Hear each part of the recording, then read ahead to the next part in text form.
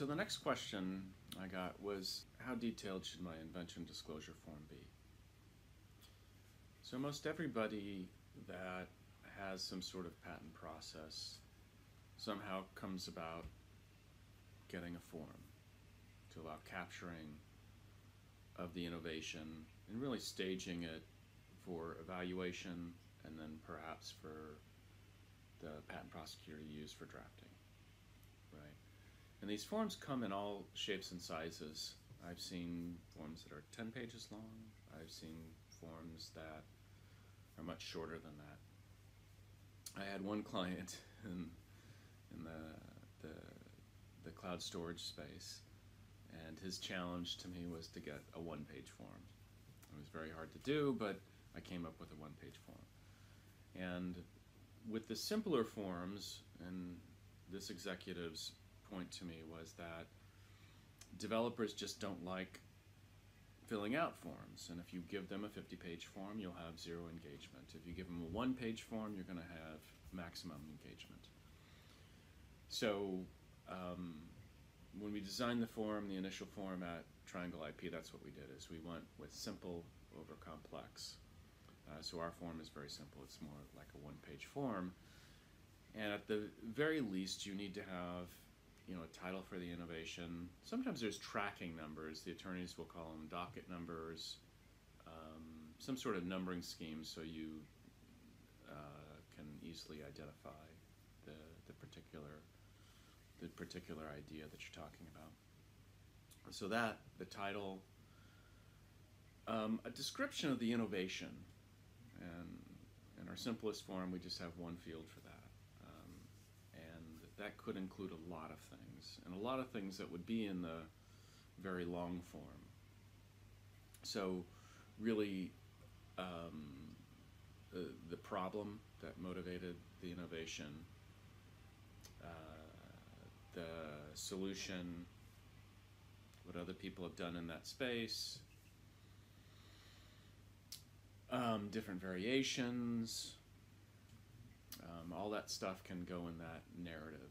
But it gives enough information so that the evaluators that are determining whether or not to expend budget on um, protecting that idea, the evaluators can get an, a flavor of what the innovation is. And then ultimately, that package would go out to um, the drafter the patent prosecutor who will be drafting your patent application. And what I like to do is have a, a very short form like that, but the, the availability to put attachments on there. And I'll often get this where somebody will come to me and they'll say, well, you know, should we spend a lot of time writing this up? And I, I, I don't think that's time well spent. Innovators are busy people. The most innovative people are extremely busy within the enterprise and their time is very valuable. What I would rather have is that they put together a brief description and then ultimately, if it gets approved, the patent prosecutor would sit down with that individual or that group of inventors and they would get all the detail that they need. But if you produced a paper, like a white paper or something like that that describes it, or maybe some diagrams or an engineering document, absolutely, there's no good reason not to um, include that with the disclosure. Um, but but really, all you need is a brief uh, a brief description of it. And then the other things that I like to get are how important people within the enterprise think it is.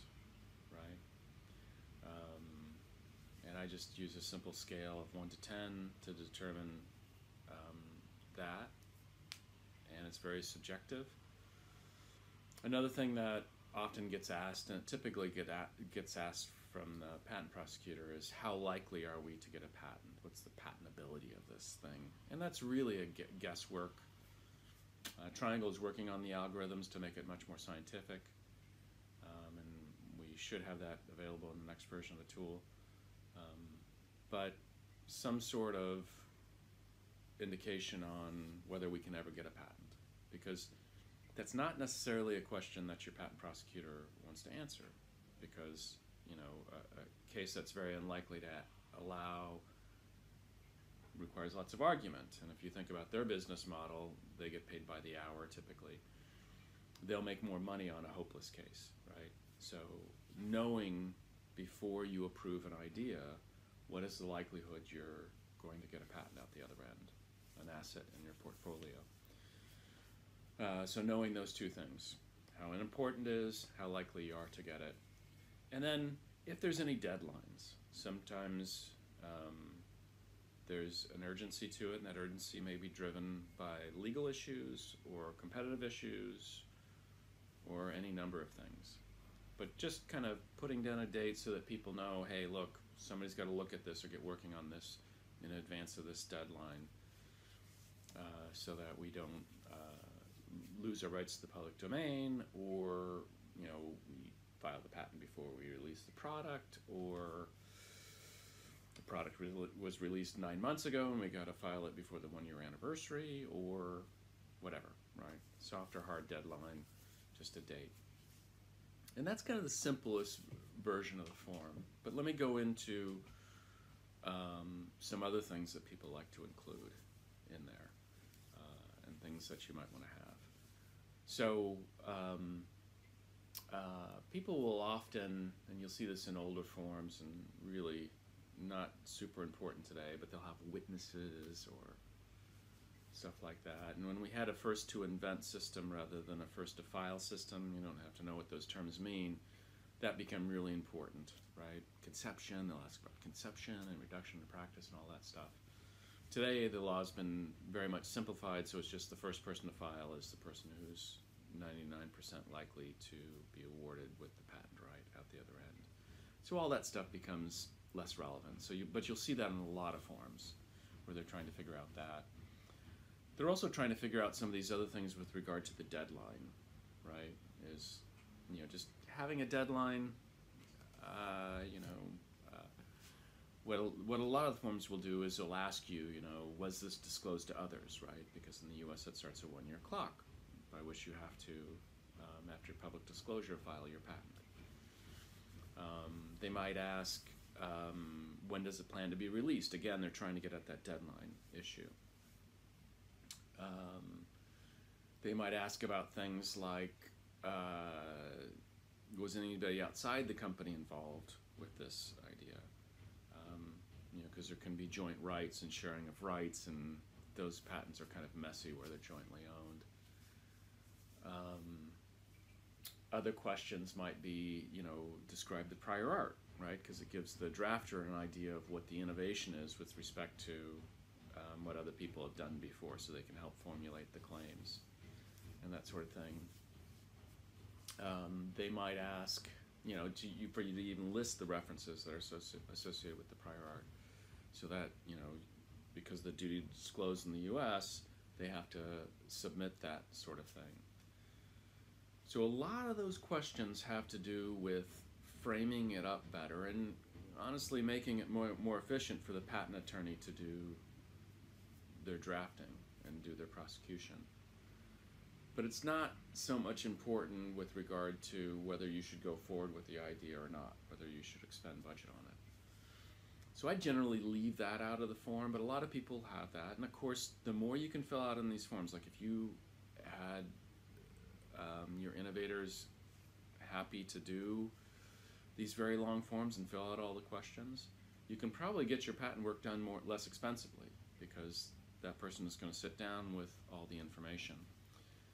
The problem that I find with those longer forms is, unless the inventors are very sophisticated and well trained, they just don't know how to fill them out, you'll find that they just stop engaging because they, you know, you ask what prior art is, right? I mean, no one knows what that term means unless you're in the industry. It's just what other people have done. Um, but they may see a question like that and it's like, ah, I was kind of reluctant to engage with the patent process. Now I feel intimidated by it. So uh, what will happen sometimes is either the the drafter or maybe an internal person will help people fill out that form.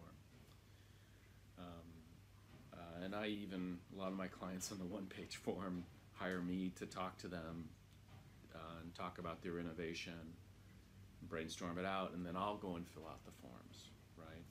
And of course, to hire counsel to go about doing that is expensive.